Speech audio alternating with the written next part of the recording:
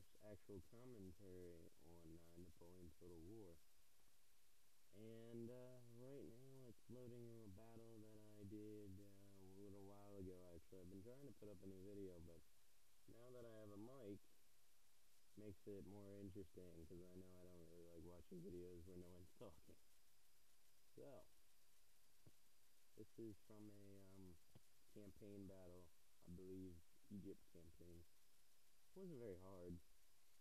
Uh, this is mostly an elite, not elite, but uh, very experienced army, so um, shouldn't be very hard battle.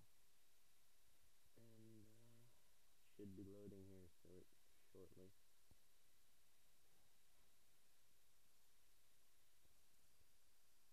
The Ottomans are, well, I think I'm playing the, the